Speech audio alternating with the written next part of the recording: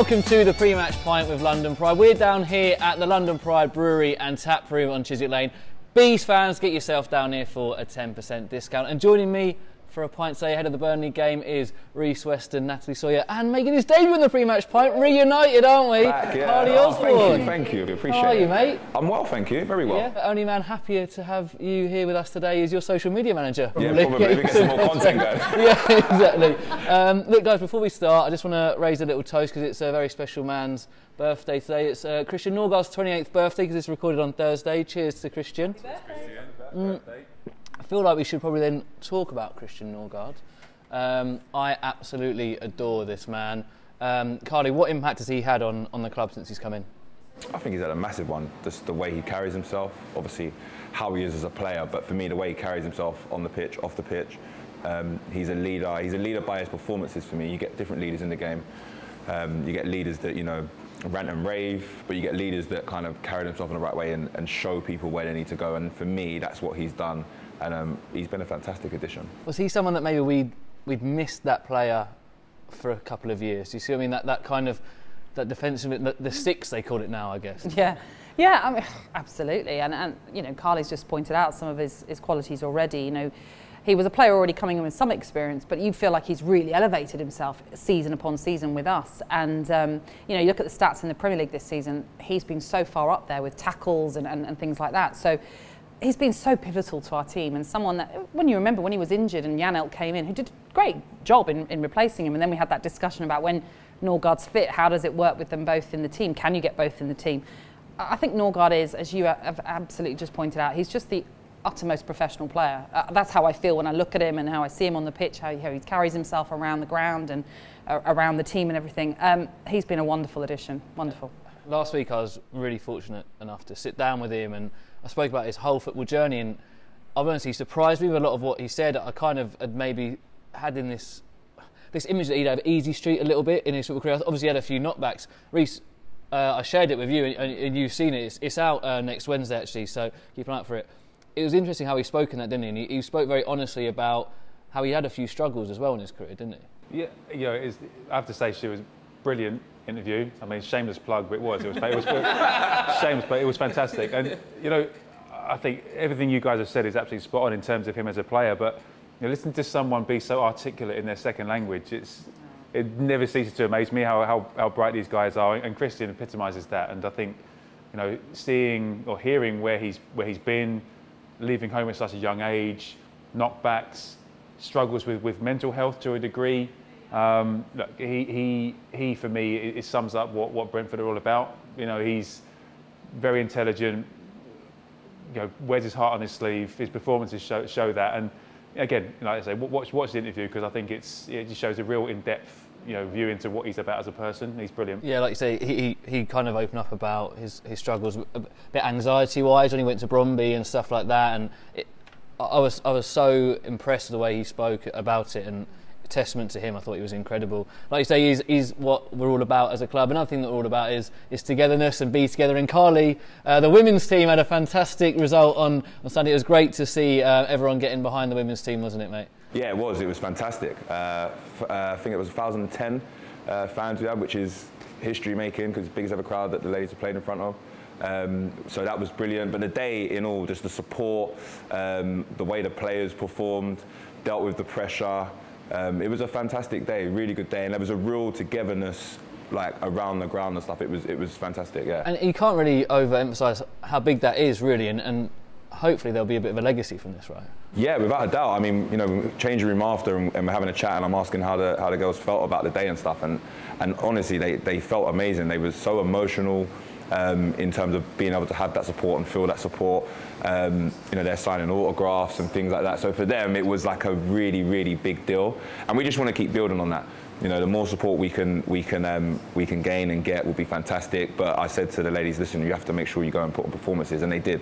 Seven-two wins, some fantastic goals, real quality, um, play some decent football. So, yeah, they were. Um, I was proud of them, without a doubt. Amazing. And that was obviously tops off a, a pretty special weekend uh, for Brentford. Um, that came after the, the, win at Norwich. Natalie, as a fan, how, how, nice was it to get back to winning ways? it's a bit of a relief, isn't yeah. it? Um, yeah, it was amazing, brilliant. Um, you know, obviously outstanding to get a result like that against one of your relegation rivals, um, and just just what the club needed. Although there was still pl- still plenty of games still to go, but it just felt as though when are we going to get that win? And so to get one as we did in the manner that we did as well, as in like a big win.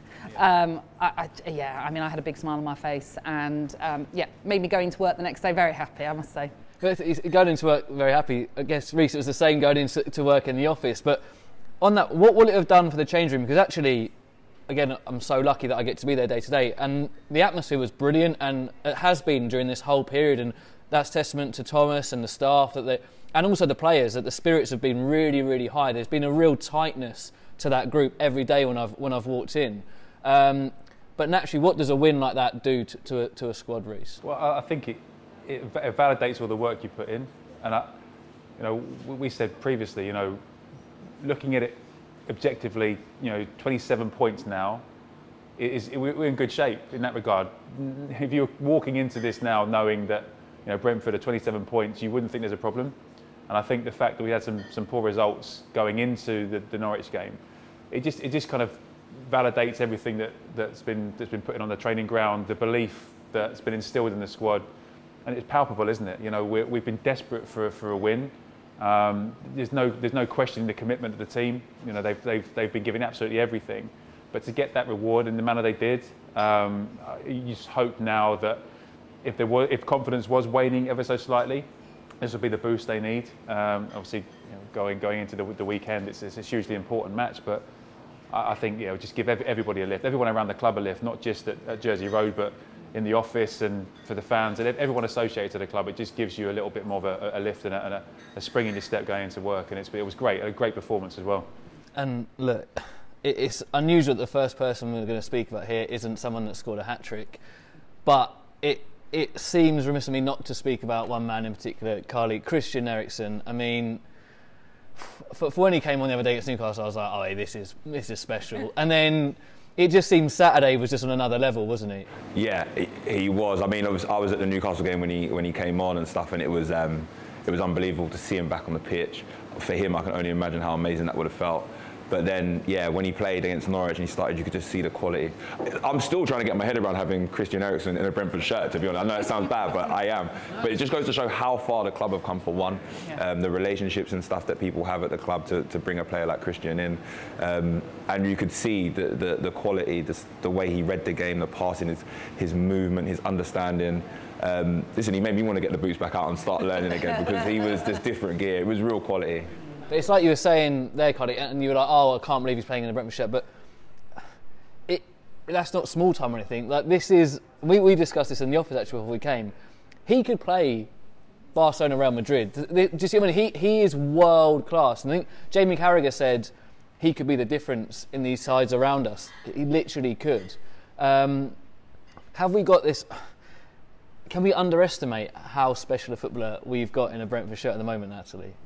Oh, well, like Karleigh said, he can't believe it. I can't believe it. I don't think anyone can still believe it. And when it was being mooted, and you're thinking, really, Christian Eriksen is going to play for Brentford? And then it happens. You're still like pinching yourself. And even seeing him now playing in the shirt, obviously he is world class. And I know we all know what happened to him. It's all about could he return? Wow, he has returned. And he's returned hopefully to that level that he was once at because I mean, so far it's so far so good for Brentford. He's been brilliant, and we talked about what he will bring to that team and how it will change the dynamic of our forward play because Ivan might not have to drop as deep, and and that's I'm sure been a, sometimes a little bit of a frustration for someone like Ivan Toney. He wants to be in the box, he wants to be scoring goals, so to have a creator like you have in Christian Eriksen. I mean, it's it's still dreamland. It really is. We saw that, didn't we? Left foot, right foot, and also I think one thing that is easy when you speak about a player like him is about how what he does on the ball, but Rhys he covers every every inch of grass, doesn't he? As well. It's, intuitive, isn't it? It's he, yeah, I, I, completely agree with everything you said, and to see someone like him just you know slotting back into where he was previously, it's, it's incredible. And yeah, he reads the game so well, positionally, he anticipates there are very few players in world football that, that, that have an understanding of what's coming next before it happens. He's, he's definitely got that ability, and you know, it just takes up incredibly intelligent positions on the pitch, sees passes, you know, sees passes that you'd have to watch three replays to see. You know, do you know I mean it's, it's, it's ridiculous the vision he's got, and you know, you, you'll see, you'll, you will see the more he plays, the, the levels of the team will, will improve as well. The runs will improve. People, you know, sometimes as, as, as, as forward players, you'll make runs and you kind of hope you might get found. Now there's a real, real expectation that you will. And again, in terms of confidence that he'll bring to the team, it's, yeah, you, you saw that on, on that Saturday. diag from Mbeumo in the first half. It's just, it's just, I mean? a, no, a no eyes pass from 40 yards. Do you know what I mean? I, again, we talked about medial ligaments in off air. yeah. Do you know I mean? To try and reverse a pass that, yeah. that accurately, you know, it's, he's, he's a, an unbelievably special player, and it's a privilege to watch him play here. Well, he was heavily involved in the first. Obviously, it was his corner that Kristoffer flicks on, and then Ivan at the back post. Um, I mean, it's mad that we haven't spoke about Ivan Toney immediately.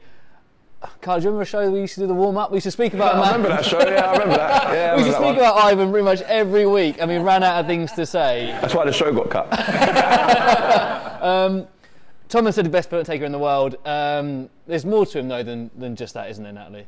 Oh, Gosh, absolutely. I mean, is he the best penalty taker in the world? On form, you probably say yes, absolutely. Yeah.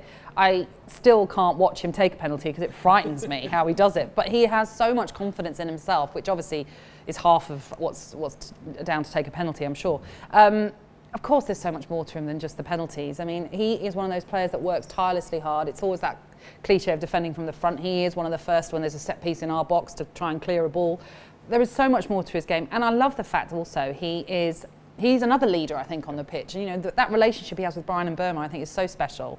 How he really wants, that. You can see he wants the best for Bryan Mbeumo. And I think that, again, when you're in a, a team that's competitive within it, to have that, I think, is a really special, really special trait. And we saw again the classic. Uh, um, I don't know how common knowledge this is, but he was getting a bit of stick in the warm up, and then obviously his celebration, he's gone to find the person that was giving him a bit of stick. Karleigh, is that the worst thing you can do to Ivan Toney? Because players seem to have learnt it now. Yeah. Managers have learnt it. Obviously, we saw Stoke last year. They tried to wind him up, and he went and had the last laugh. Players and you can't do anything if the fans are doing it. Surely that's the worst thing you can do, right? It seems like it, it, seems to be the worst thing you can do. It just fires him up to a different level, puts him in a, in a zone. Maybe it's something that we've got to do as fans ourselves before the game to get, him, to get him going. But he just yeah, he seems to go into like a different level, and he, he needs to prove a point, and and most of the time he does. Yeah. Look, after the game, Pontus said that means nothing though if we don't do it on, on Saturday. You made a comment. What was your comment? Classic captain speak, yeah. Yeah, it's down, down, it, downplay. Yeah, reality check. Of course, don't get carried away. But you know, we've we, have we have got to, we've got to enjoy it. You know, as as a, as a club, we've got to enjoy the, the high points. And um, he's right to a degree. You know, Saturday's massive. Let's not, let's not get away from the fact that you know, home game against Burnley is, is a big big game. But like I say, if if if we apply ourselves like we did against Norwich, you know, we'll, we'll be very very difficult to beat. You know, Burnley have had a little spike. You know, they've they've done reasonably well of late. You touched on you know, Chelsea and, and, how unlucky they were not to be ahead at the break against Chelsea. They end up getting beaten heavily. You know, every, every club in the Premier League is, is capable of having a spell in games. But these, these are the ones now, aren't they? You know, this is the business end of the season. As you said, 10, 10 games to go. You know, Burnley at home, it's a real opportunity to lay down another marker. Um, and I'm, I'm, confident we can. Again, you know, we, have shown against Norwich that when, when, when backs against the Wolves, we've come out and we've put in a really decent performance. So yeah, and Pontus is going to say the right things, of course. You have to. You've got, you've got to keep everyone level headed. But we, as fans, as employees, we can revel in it. Let's, let's, let's get into Saturday and let's smash Burnley. We saw. I'm ready, I'm off. Um, we, we, saw that 4 3 3. And do you think, Natalie, the sensible thing is, I'm sure it's not, they're not going to listen to me, but play with that system again against Burnley? I've because heard Thomas watches, so you never know. Because um, I think, for me, a, a big thing as well was Sergi against Norwich, and I think he really flourished in that attacking role again, coming in off the left. Is that something that I think, looking at this Burnley game, that, that front three now is, is a different animal. It, it's, it's exciting. It, it's going to put teams on the back foot, right? Yeah, oh, absolutely. I think Sergi spoke about being a part of that attacking forward play of Brentford because look, he was asked to do a job, and his job has never really been to, to be defensive. That's never really what he's done when he's been with us anyway. And it must be hard to be asked to do something that isn't necessarily in your first mindset when you've always been an attacking sort of player and then you're expected to get back and defend and do bits like that as well. So for me, I think definitely Sergi Canos should be playing that forward role Um, I think he enjoys it. He has a smile on his face when he's doing it as well because he knows that he's having a, a, a form of dictation on the game as well. And, and you know, when you see Sergi smiling and enjoying himself, you know that things are going well. I think so. Um, and he was buzzing, I think, to be playing in that forward uh, front three, like you say. And I think I would expect to see that again, again against He lifts Burnley. everyone, doesn't he, as well? He does, It gets yeah, everyone going. exactly. And I think, look, people say a lot of stuff about Burnley, and actually, I love them. I think you need teams like Burnley. Football would be rubbish if you didn't have teams like Burnley. And they, Sean Dyche always gets them out of trouble. And look, people will say they're ugly and they're this and that. I think don't matter. Everyone's got different styles. Karleigh, how do you play against a team with a six foot six centre uh, centre forward? If you're a centre half and you've got a Mark Weghorst at the weekend, is it cut off at source, or, or what are you thinking as in your individual battle there? You got you got to try and cut it off at source if you can. It's to save yourself a problem. It's easier to cut it off at source so I can do less work. But if not, it's just about making sure people are covering, trusting yourself if you're starting position. Obviously, being strong enough to go and try and win the header. If you can't win it, just let them have it. Keep the ball in front of you. Um, but listen, Thomas is going to know a lot more than me, so I'm sure he'll have them set up exactly how he needs to. Um, but Burnley are they're, they're a horrible team to play against. They, I think they enjoy being horrible. Um, but we've got to match them on that side and then bring our quality in and, and show the difference in that area as well. Bang on, bang on. Look, It's actually time for today. I'm really sorry. Jamie's telling me it's time.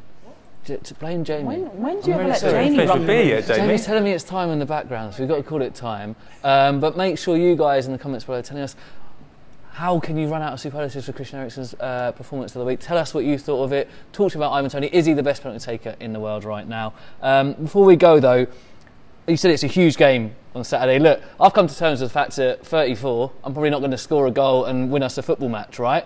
Um, I think a few of us here maybe probably aren't going to get that opportunity again. But come Saturday, I can do something, can't I? I can make sure I'm loud, that I'm proud. When Pontus is screaming, I'm screaming, that I'm chanting every song from the first minute, because that is a way that I can affect the game. And I want to be able to come out of that game on Saturday knowing I've done my little bit. So we've got to get behind the team on Saturday, haven't we? It's a huge game.